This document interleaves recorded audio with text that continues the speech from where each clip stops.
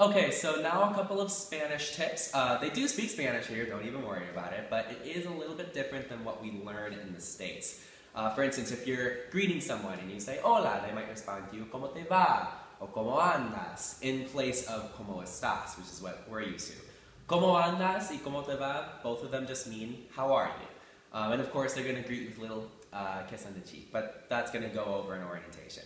Um, and then another thing they say is dale a lot. So like think like the songs that we listen to, but it's for everything. So oh, I want to go to the store. Okay, dale. Or um, we're gonna go do something else. Dale. They say dale a lot. It's very very common.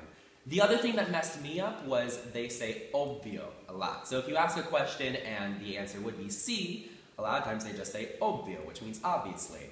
So when I first got here, I thought that all of my questions were just super obvious and I was missing something, but it's just a little slang thing that they use here. Uh, the other thing is che, which just pretty much means hey. So like uh, che Julieta would be something that I would say if someone was named Julieta. And it's really, really easy to get. You just kind of have to adjust yourself a little bit, but definitely make sure that you keep these in mind. So como andas, y como te va, che, dale, and obvio, and you'll be speaking like a porteño in no time.